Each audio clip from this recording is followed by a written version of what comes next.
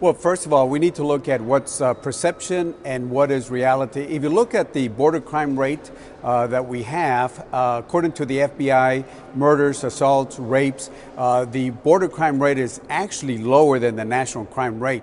If you look at Laredo, Texas, my hometown on the border, compare the murders we had last year, three murders per 100,000, compared to Washington, D.C., where we're at right now, that's about almost 16 murders per 100,000. So actually, it's a lot more dangerous here in Washington, D.C. So there's a perception, there's a reality. Uh, if we're going to talk about border security, uh, my uh, uh, aspect has always been, my perspective has always been yes, let's have reasonable border security, but we got to look at the southern border, we got to look at the northern border, and we got to look at the maritime borders also, uh, and look at other uh, other things because not all threats will come in through the southern border. If you look at the 9/11 uh, uh, terrorists, or even some of the folks that have come in, they have not come in through the southern border. So we got to look at perception and reality, and reality on the border, and I live on the border, I, uh, I drink the water, I breathe the air there, and I can tell you it's a lot safer there than in Washington, D.C., without due respect to Washington, D.C.